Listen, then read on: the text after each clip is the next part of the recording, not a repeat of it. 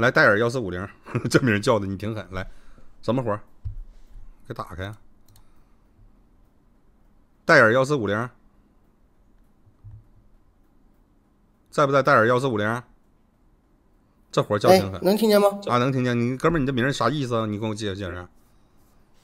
呃，二零一零年我买的第一台笔记本电脑，戴尔灵越幺四五零啊，好好好，好好好，合理合理啊，合理，啊，就是比较，呃，长这么大第一次摸着电脑嘛，然后当时，呃，那个时候我那个时候我，然后我学的专业和我们学校基本上都是在，呃，在美国班上的，然后我就看了你跟那个这段时间聊的那个中国的什么科技啊什么那些，我就想问问那帮认为咱们国家没有什么。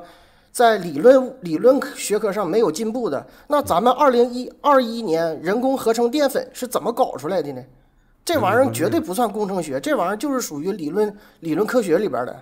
我这这你有点打我打我盲区，我不知道这是啥玩意儿，是干啥？是用来就是啊，就是智能勾芡呐反正就是这帮觉得咱们理论科学不不行的，那我建议他们啊，在抖音顶做多刷一些咱们官方的什么风洞啊，还有一些就这种前沿学科的，然后评论区里边没有反思怪的，那绝对那些技术就已经是很厉害的了。他们可以关注一下那嗯对人工合成淀粉。然后那个就是，因为我们也是是都是干那种被美国制裁的那些东西嘛，我就是想是炒菜用的吗？人工合成淀粉我粗略估计这玩意儿是深空探索用的，跟那个生命自循环系统可能有点关系我我猜的。裤的吗？但但是我不太，我我我不太明白具感谢体是怎么干这个事儿。感谢俄俄列俄大宝，行，那你这你这样式的，你去那个你去那个就是咱们那个咱咱们下面不是有那个录屏号都开各个直播间吗？你去那个科技讨论区，你不是科技讨论区，就是那个歪屁股区。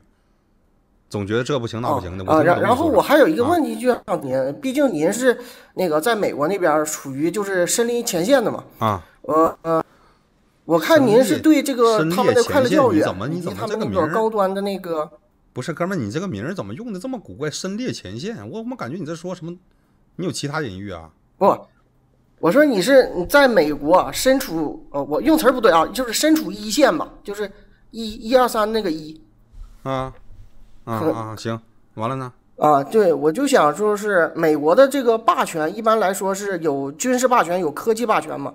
啊我就想说，呃，您能不能解，就是给我们就是讲一讲他这个科技霸权，我们您预估我们什么时间能够打破它，或者说是追上它，或者这个这方面东西，我建议你找个谁问呢？找胡说问，找胡胡说比较专业。哦，你你问我，你你问我智能勾芡淀粉，我都不知道，你问我这个，我快乐教育怼诺贝尔老头，我都我都怼的都费劲，都滚刀儿，都没一招，我都不懂，我都不是不诺诺诺贝尔是啥，我都不知道。你给我你问我，你问我军事，我给你跟我给你展示一下美国的那个，来，我看今天谁是榜一啊？